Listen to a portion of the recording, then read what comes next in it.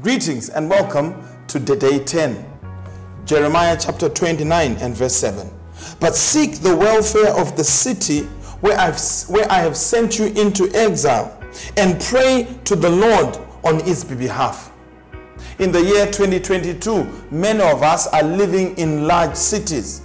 You may be in Harare, you may be in Bulawayo, you may be in, in Mutare, in New York, in whatever city.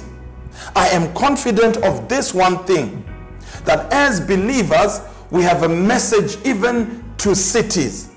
Listen to what this statement says.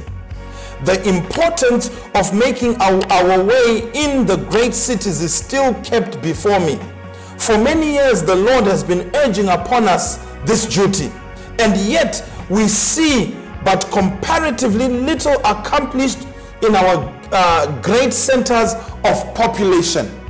When you look at uh, the population or the population in the large cities, people moving from rural areas seeking better opportunities, we as a church have a big role that in them seeking better opportunities, they also seek Christ, the living bread.